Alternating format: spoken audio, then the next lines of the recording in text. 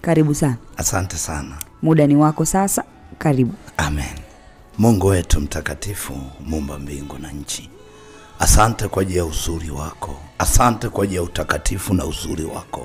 Mungu mwenye enzi yote, mwenye utukufu, Baba, ninaipandia madhabahu yako ya Tunduma FM kwa kibali chako na kuhitaji Roho Mtakatifu niongoze sawa sawa na jinsi ambavyo Baba umelikusudia kanisa lako Baba, juu ya msikilizaji wangu wa Tunduma FM, juu ya mtazamaji wangu wa Ebeneza TV na kuhitaji Mungu mtakatifu, wewe tunayekupenda, kupitia china lipitalo majina yote, uwepo wako Baba utufunike na kututawala kwa jina la Yesu, amen. Amen. Bwana Yesu asifiwe. Amen. Kama alivyonitambulisha mtumishi wa Mungu mtangazaji, leo nimeongozana na mtumishi ambaye ajitambulishe jina. Karibu, karibu. Amen. Bwana Yesu asifiwe. Amen. Bwana Yesu asifiwe sana. Amen. Amen. Kwa majina naitwa Yusufu Yeremia Mwegaga. Nimefurahi kuwepo hizi studio za Tunduma NLC FM. Amen.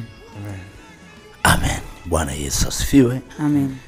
Neno la Mungu kichwa chake ni neno lilivyo muhimu kwa mwana wa Mungu. Neno lilivyo muhimu kwa mwana wa Mungu. Bwana Yesu asifiwe. Amen. Hakuna kitu ambacho unahitaji kujua wewe msikilizaji wangu wa Tunduma FM, lakini pia mtazamaji wangu wa Ebeneza TV, ni neno jinsi lilivyo muhimu kwa uliye mwana wa Mungu, kwa sababu kila kitu ambacho unachokiona duniani mpaka we mwenyewe msikilizaji wangu wa Tunduma FM, lakini pia vingine vinavyoonekana na visivyoonekana kile kitu ambacho kimetokea kimetokea ni kwenye neno.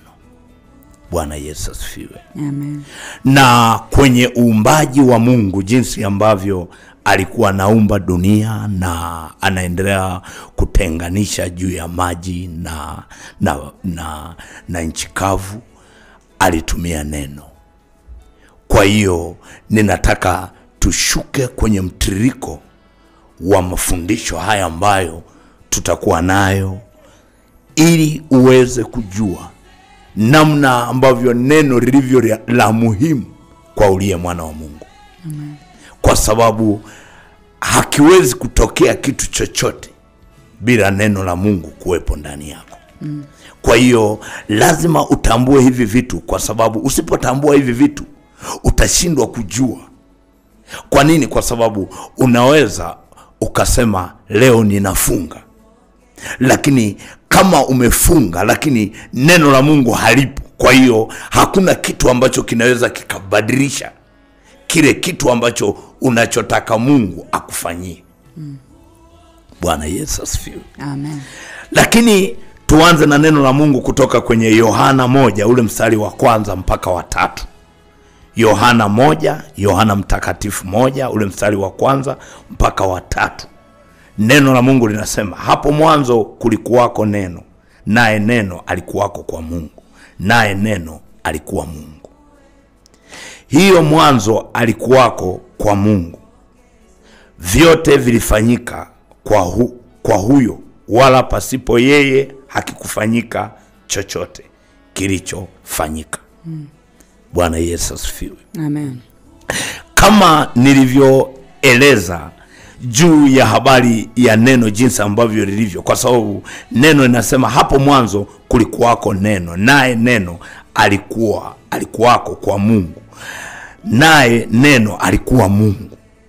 Kwa hiyo unavyoshika neno, ina maana unakuwa unamshika una ni Mungu ambaye a, kupitia hilo neno anaweza kukubadilishia kile kitu ambacho unachotaka kibadilike kwako. Kwa hiyo bila neno ni kwamba hakuna kitakachobadilika kwako. Ndiyo maana unaweza ukanisikiliza, unavyo unayenisikiliza Tunduma FM, unayeniangalia Ebeneza TV, unaweza ukawa unasikiliza na saa nyingine unaamua kuomba ma maombi yako lakini hayajibiwi. Kwa nini? Kwa sababu maombi yako yanategemea neno la mungu jinsi lilivyokaa kwako kwa sababu hakuna kitu kinachoweza kubadilika bila neno ndio maana unajishangaa watu wengi. Saa nyingine wanaamua saa nyingine kwenda kufunga. Yaani kufunga ni kuzuri sana kwa ajili ya kile unachotaka. Lakini ambacho mungu anatafuta kwa mtu ni neno ambalo limejaa kwako ambalo linaweza likabadilisha kitu ambacho kikakuletea matokeo ya kile ambacho mungu anakukusudia ili uweze kwenda kwa sababu bila neno hakiwezi kubadilika kitu. Kwa sababu system ya mungu jinsi ilivyo ni kwamba imekani kwenye neno. Na nimesema tutashuka kwenye mtiririko. Na ndio maana nakuta na- mbili inasema hivyo mwanzo alikuwako kwa mungu. Kwa hiyo kama mwanzo alikuwapo kwa mungu kwa maana hiyo yeye ndiye jibu. Yeye ndiye anayeweza kukupa kile kitu ambacho unahitaji kukipata kwa sababu hakiwezi kupita kwa transfer ya ya uongo ya nje ya neno hakiwezi kupita. Bwana yesu asifiwe. Amen. ndio maana unaweza ukawa na mgonjwa ambaye anaumwa alafu wakati ule mgonjwa anaumwa alafu wewe umefika ume, saa nyingine unakuta watu wanaomba kuanzia asubuhi saa nyingine labda mpaka saa sita masaa sita wala mgonjwa afunguliwe lakini pia anatokea mtu ambaye neno limejaa kwake. Akifika pale neno limejaa kwake na imani ya kumtegemea mungu imejaa kwake. Anafika unakuta yeye hajatumia nguvu kubwa. Labda ametumia labda dakika tano au dakika kumi au dakika nane au dakika mbili na mgonjwa akafunguliwa. Mm. kwa sababu kinachotegemea kwa mwanadamu ni neno. Kama neno halipo kwako haliwezi kuleta matokeo ya kile unachotaka. Cheki tatu inavyoeleza hiyo yohana moja tatu. Inasema vyote vyote vilifanyika kwa huyo wala pasipo yeye hakikufanyika chochote kilichofanyika. Kwa hiyo kama pasipo huyo hakikufanyika chochote ni kwamba hakiwezi kufanyika kitu chochote nje ya neno. Ndio maana unaweza ukawa okay umeokoka muda mrefu. Umekaa muda mrefu wewe umeokoka lakini neno la mungu halipo kwako. Kwa hiyo kama halipo kwako ndio maana halileti matokeo ya kile unachotaka kikufanikishe. Mimi ni mwalimu. Najaribu kucheki na najaribu kufanyia mambo kwa uchunguzi na kwa ukwaliti zaidi ili u, niweze kukuletea kile kitu ambacho kina kitakachokuletea majibu. Nikuletee kitu ambacho ukikifanyia mazoezi kikuletee matokeo ya kusema mwalimu nimeona kweli kimetendeka ambacho ulikuwa unasema kwa hiyo kati ya sentensi ambayo mungu anahitaji kwa mwanadamu kwa sababu nimesema tutashuka tutatirika zaidi na zaidi ili uweze kujua neno lina uweza namna gani. Ndiyo maana kichwa kinasema neno lilivyo muhimu kwa mwana wa mungu. Kama huna neno hakuna kitakachotokea Amen. kwa sababu neno ndilo lenye majibu au neno ndilo mkono wa kuchukulia kile unachotaka mungu akufanyie. Kwa bila hivyo hakuna kitu. Ndio maana nasema pasipo chochote hakikufanyika chochote. Kwa hiyo neno ni muhimu sana ndani ya wewe uliye mwana wa mungu. Lakini wewe ambaye bado hujaokoka una nafasi kubwa ya kuokoka nenda kwenye kanisa lolote ambalo upate uokovu alafu uyaishi haya nayoyasema, au yaishi haya ninayoyafundisha. Yohana mm. moja ule mstari wa kumi na mbili. Yohana moja ule mstari wa kumi na mbili. Neno la mungu linasema bali wote waliompokea aliwapa uweza wa kufanyika watoto wa mungu. Ndio wale waliaminilo jina lake bali wote waliompokea. Walifanyika watoto wa mungu ndio wale waliaminio jina lake. Kwa hiyo neno la mungu mungu anataka kumbadilisha mtu. Kwa hiyo kuna matokeo ya mwana wa mungu lakini pia kuna matokeo ya kuita mtu wa mungu kwa hiyo ile kwamba unaitwa mtu wa mungu ni kwamba hujabadilika kuwa mtoto wa mungu. Kwa sababu mpaka uokoke uchukue majukumu ya kuchukua maamuzi ya kuokoka ndipo utaitwa mtoto wa mungu. Kwa hiyo kama hujaokoka unaitwa mtu wa mungu. Lakini atakayeokoka ndio maana neno linasema yohana 1:12 inasema bali wote waliompokea aliwapa uweza wa kufanyika watoto kwa hiyo kuna watoto na kuna wat, ambao si watoto mm. ila ni mtu kuna mtu wa mungu na kuna mwana wa mungu mm. kwa hiyo mwana wa mungu ana haki kwa baba yake lakini mtu wa, mtu wa mungu hana haki kwa baba yake pamoja na kusema mwingine anasema mtumishi kwa maana hiyo kwamba sisi saa nyingine tumemweja, ah, ah, kwa sababu mpaka shetani ana haki kwa sababu aliumbwa na mungu. Mwingine hawezi kuelewa vizuri. Mm. shetani naye ana haki kwa sababu aliumbwa na mungu. Tena aliumbwa kwa jinsi ambavyo hakuumbwa kama tulivyoumbwa sisi. Lakini hapa mungu anajithibitisha anasema wote waliompokea aliwapa uwezo wa kufanyika kuwa wana wa mungu kwa hiyo kama hujampokea yesu kuwa bwana na mwokozi wako wa maisha yako ina maana bado matokeo yako si mazuri. Kwa hiyo mpaka umpokee yesu kuwa bwana na mwokozi wa maisha yako ndiyo utakapokaa kwenye kuwa mtoto wa mungu. Lakini bila hivyo ina maana huwezi kwenda. Ndiyo maana wachungaji wanaweza wakakwambia okay wewe ni mtumishi lakini wewe uko hivi lakini hawezi kuku, kukutirisha kama anavyokutirisha hivi. Kwa sababu najaribu kukuelekeza nilishakwambia kwamba kwenye huduma tano kila mmoja na kazi yake kila mmoja na kazi yake. Kwa sababu hakuna cha kusema mchungaji ni mkubwa kuliko mwinjilisti hakipo. Au mwinjilisti ni mkubwa kuliko mwalimu hakipo. Au mtume ni mkubwa kuliko kuliko kuliko nabii hakipo.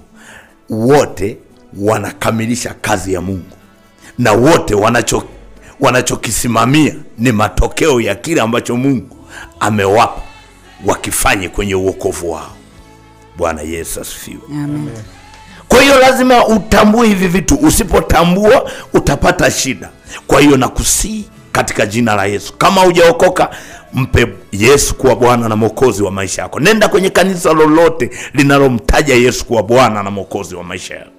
Ili uweze kuondoka ili uweze kuyaishi maisha haya ambayo ninayokufundisha ili iwe haki yako. Yohana 15 ule mstari wa saba. Yohana 15 ule mstari wa saba. Neno la mungu linasema ninyi mkikaa ndani yangu ni yesu anasema yaani neno lake likikaa ndani yako. Ninyi mkikaa ndani yangu na maneno yangu yakikaa ndani yenu ombeni mtakalo lolote nanyi mtatendewa. Bwana yesu asifiwe. Neno la mungu linasema ninyi mkikaa ndani ya yesu na yesu maneno yake yakakaa ndani yenu ina maana ombeni lolote mtatendewa. Kwao usijaribu kutransfer nje ya neno la mungu. Ndiyo maana watu wengi wanajuta wengine wanaamua kuacha uokovu kwa sababu tu neno la mungu halipo kwake. Kwa hiyo kama neno la mungu halipo kwake na maana haliwezi kukuletea matokeo kwa sababu linatuagiza ninyi mkae ndani yangu lakini na maneno yangu yakae ndani yenu. Kwa hiyo kama neno la mungu halijakaa kwako ina maana haliwezi kuleta matokeo ya kile nachokwambia. Najaribu kuthibitisha kile ambacho nimetoka nacho mwanzo. Kwenye yohana nimejaribu najaribu kuthibitishia ili uweze kujua ili uweze kufahamu namna ambavyo haki yako neno la mungu likikaa kwako ni kwamba litakuletea matokeo sahihi. Lakini kama neno halipo ina maana haliwezi kuletea matokeo sahihi kwa sababu halina majibu. Mungu anajibu mtu kulingana na neno lake lilivyokaa kwake. Ndiyo maana wewe mtatoka mnaombea mgonjwa muda wote nimesema lakini pia anakuja tu wa neno. Anakuja tu wa, kwa muda mfupi alafu anafunguliwa lazima ujiulize nini kimejaa kwa huyu ambaye hivi vitu hakijamsumbua wala hakijaleta muda mrefu alafu mgonjwa amefunguliwa? Lazima uwe na vitu vya kujiuliza ukiwa mwana wa mungu. Mm. lazima uwe na vitu vya kujiuliza wewe ukiwa mtoto wa mungu. Mm. kwa sababu tofauti kati ya kuitwa mtoto wa mungu na kuitwa mtu wa mungu. Wote mungu anawatambua lakini kusikilizwa kuna tofautisha kuna tofautiana anasikilizwa aliye mwana wa mungu. Sawa na leo hii wewe unayenisikiliza tunduma fm wewe unayenisikiliza ebeneza tv mtoto wako anaweza kuja kwako akakuomba peni na daftari accountable. Utamnunulia haraka kwa sababu ni mtoto wako. Ndivyo ilivyo hata kwa mungu. Lakini kama umeshupaza shingo naona kama wewe unaweza ndiyo maana matokeo hayo ambayo hakuna hakuna kinachojibiwa kwako. Lazima utambue hicho kitu. Najaribu kucheki namna ambavyo ilivyo. Bwana yesu asifiwe. Amen. siku moja nikikaa ilikuwa ni, alime, ni alhamisi iliyopita. Alhamisi iliyopita. Kati ya miradi yangu kati ya mradi wangu mmoja nilikuwa nataka niuze mradi mmoja. Nilikuwa nauza ambao ni mradi wangu wakati nime nataka kuuza karibu ilikuwa na wiki moja nimewambia watu wanaotaka kununua wanunue. Lakini nikiwa niko kwenye ibada mungu akaniambia wakati nimekaa nyuma ninasikiliza kile kinachoendelea ndani ya ibada. Mungu akaniambia nenda kwenye huo mradi. Ukitoka hapa nenda kwenye huo mradi. Ukifika kwenye ule mradi kaokote mawe saba. Alafu niuzunguke ule mradi kwa hiyo kila nikizunguka nilikuwa nadondosha jiwe moja. Huo ni ufunuo. Kila nikizunguka nadondosha jiwe moja. Kila ni- kwa hiyo mpaka yakaisha yote saba. Nikadondosha mawe saba. Nilivyomaliza nikashinda ijumaa jumamosi. Mtu anasema njoo chukue hela. Njoo chukue hela mimi tayari nimependa ule mradi lakini hakikuwa kitu chepesi. Huwezi, huwezi kupata hivi vitu kwa, kwa kirahisi rahisi. Lazima neno la mungu likae kwako. Kama neno halijakaa kwako ni shida. Huwezi kupata kwa sababu linategemea matokeo ya ulivyo. Kama linategemea matokeo ulivyo ah, huwezi kupata wakati matokeo ya neno la mungu halipo kwako kwa sababu neno linatuelekeza pasipo neno hakikufanyika kitu chochote. Mm. na ndio maana hata wewe mwanadamu uliumbwa kwa neno. Hata vinavyoonekana na visivyoonekana viliumbwa kwa neno. Kwa hiyo kama viliumbwa kwa neno usifikiri ni vita ambavyo unaweza ukachomoa tu kiurahisi ukasema tu kije kije kije kije kikaje. Alafu neno halipo. Kwa sababu kile kinachotaka kuja kinategemea neno. Umebeba neno la mungu kiasi gani bwana yesu asifiwe. Amen. yohana 12 ule mstari wa 26 niko kwenye yohana tu ndivyo ambavyo roho mtakatifu ameniongoza kupitia vitabu vyake. Yohana 12 ule mstari wa 26 neno la mungu linasema mtu akinitumikia na anifuate huyo ni yesu anasema nami nilipo ndipo na mtumishi wangu atakapokuwapo. Tena mtu akinitumikia baba atamuheshimu kwa hiyo neno linasema mtu akinitumikia ni yesu anasema. Alafu anasema baba mungu atamheshimu. Kwa hiyo hupati tu heshima ya wanadamu lakini unapata mpaka heshima ya mungu. Ukimtumikia kwa uaminifu. Neno lake ukibeba ndani yake kwa uaminifu likijaa kwako ni kwamba utatendewa.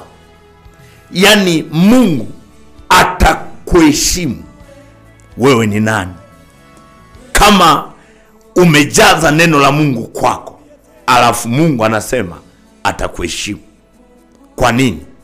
Kwa sababu yeye kazi ya mungu ni kuona wale wanaojikweza yeye anawashusha.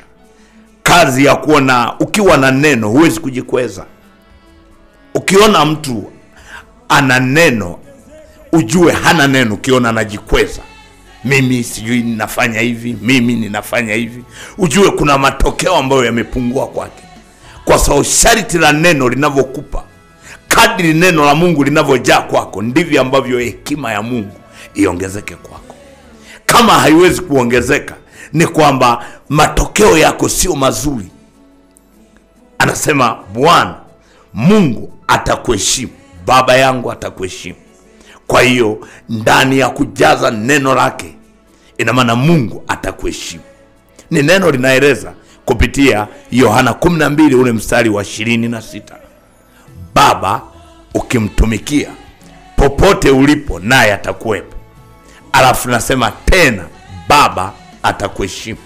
Kwa hiyo lazima msikilizaji wangu wa tunduma fm jaza neno la mungu ndani yako. Soma bibilia soma neno la mungu. Nimewaisema nikasema na ninasema na mwingine ambaye hakunisikiliza. Nasema na bibilia karibu bibilia nimezisoma bibilia ya kwanza nimemaliza kutoka mwanzo mpaka ufunuo. Bibilia ya pili nimemaliza kutoka mwanzo mpaka ufunuo. Bibilia ya tatu nimemaliza kutoka mwanzo mpaka ufunuo. Ninayo bibilia ambayo nayokufundisha ni bibilia ya nne saizi ambayo ndiyo ambayo natembea nayo sasa kwa ajili ya kufundishia. Lakini hizo bibilia tatu nikisoma ni- nikimaliza nagawa. Nikisoma nikimaliza na gawa nikisoma nikimaliza na gawa kwa hiyo hiki nachokuletea sikuletei kitu ambacho hakiwezi kukuletea matokeo kwako. Kwa sababu neno la mungu watu wengi ni wavivu kusoma bibilia ila ni rahisi sana kusoma magazeti lakini hayakusaidii. Kwa sababu bibilia neno la mungu ndiyo top ndilo linaweza kubadilisha vyovyote ambavyo unavyotaka iwe. Ni neno la mungu. Nje ya neno la mungu subutu. Bwana yesu asifiwe. Wewe ambaye hujaokoka nenda kaokoke kwenye kanisa lolote ili uanze kuyaishi haya. Si jambo jepesi.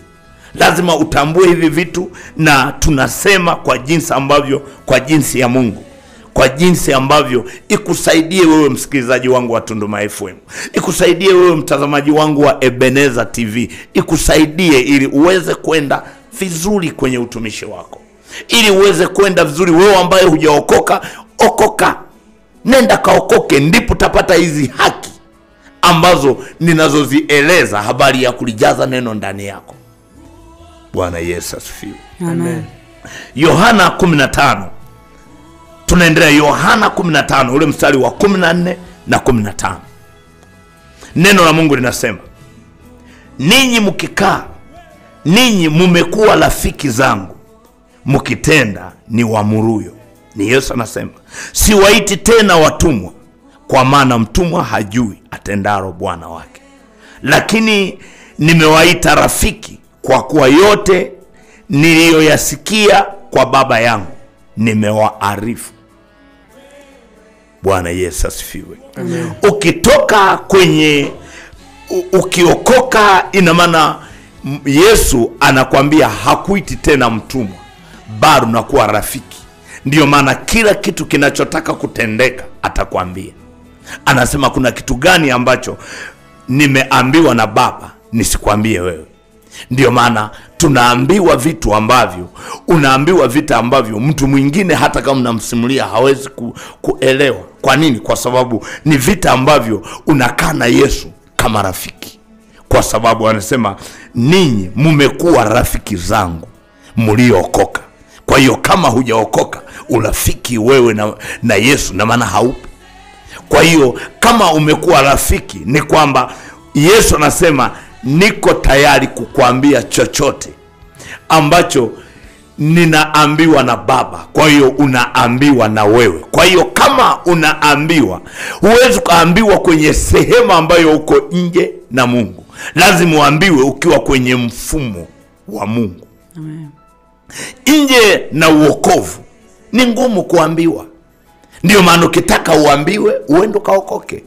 Ili yesu awe rafiki wako yesu anakuwa rafiki kwao. Kila chochote kinachotakiwa kuambiwa utaambiwa. Kwa nini? Kwa sababu ya urafiki uliojenga wewe na yesu uliye mwana wa mungu. Nini urafiki umejaza neno lake? Nini? Unatembea kwenye kile ambacho anakuambia na anakuelekeza na anakupa matokeo ya vile ambavyo kiweje. Kwa nini? Kwa sababu ni muhimu sana kama yesu ni rafiki yesu anakuwa ni rafiki yako. Wewe unapungukiwa nini? Bwana yesu asifiwe. Amen. umewahi fikiri una yesu anasema mimi ni rafiki. Kila am, ambacho nimeambiwa na baba ndicho ambacho ninakuelekeza wewe. Kwa hiyo ndo maana tunapata faragha, tunapata vitu vingine ambavyo vinataka kutokea tunapata mapema.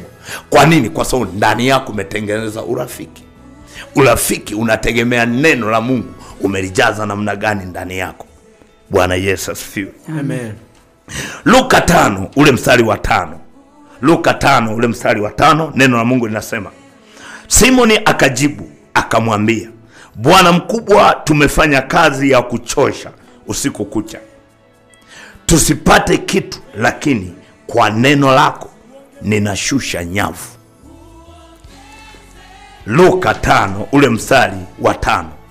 Neno la mungu linasema simoni akajibu akamwambia bwana mkubwa anamwambia yesu tumefanya kazi ya kuchosha usiku kucha tusipate kitu lakini kwa neno lako ninashusha nyavu. Bwana yesu asifiwe. Amen. si jambo jepesi ambacho alikuwa anaeleza simoni hapa. Alikuwa anaeleza kitu ambacho ni kiko live. Ndio maana nimekuambia neno ndo kitu cha kwanza. Kwa hiyo nje ya neno ina maana hakuna kitu kinachoweza kufanyika. Yesu aliwakuta wanavua samaki. Alafu wamevua samaki usiku kucha hawajapata kitu chochote. Alafu alivyoingia yesu akasema kwa neno lako shusha nyavu. Na alivyoshusha nyavu na yule simon akasema kwa neno lako ninashusha nyavu. Na alivyoshusha nyavu ukiendelea na huo mstari wanze tano mstari wa kwanza shuka nao moja kwa moja utakupa kile kitu kilichotokea. Samaki zilipatikana nyingi sana. Samaki lakini kwa neno lako. Yeye simon alisema kwa neno lako ninashusha nyavu. Na alivyoshusha masamaki yalipatikana mengi yalipatikana mengi yalipatikana mengi. Kwa hiyo kati ya kitu ambacho unahitaji kujua msikilizaji wangu wa tunduma fm ni neno la mungu lijae kwako. Lisipojaa kwako haliwezi kuleta matokeo. Kwa neno lako ninashusha nyavu. Na alishusha na akapata matokeo kwa jinsi ambavyo mungu amemkusudia na masamaki akawa mengi. Bwana yesu asifiwe. Amen. ni mwalimu yeremia ebeneza mwaigaga. Namba yangu ya simu unayetaka kuuliza kwa sababu ninafundisha. Hapa tuna nusu saa. Kwa hiyo namba yangu ya simu ni 0753 697 281 0753 697 281 wewe unayetaka kuuliza kwenye kwenye kuandika meseji lakini pia kupiga simu unapewa majibu kutoka kwa mwalimu yeremia ebeneza mwaigaga. Mungu wetu mwenye enzi mwenye utukufu. Asante baba kwa ajili ya neno lako ambalo umeachilia kwa siku ya leo. Baba ninakutukuza na kukuamini kwa ajili ya neno lako.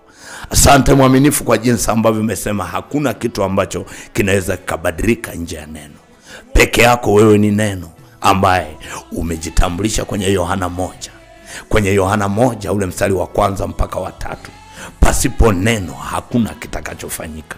Nasi mwaminifu kupitia china lipitaro machina yote. Uwepo wako baba utawale mwaminifu na kumiliki jina lako lihimidiwe donai niko ambaye niko. Tawala baba na kumiliki liwezeshe kanisa lako hili. Wawezeshe baba ambao hawajaokoka ili waweze kuokoka.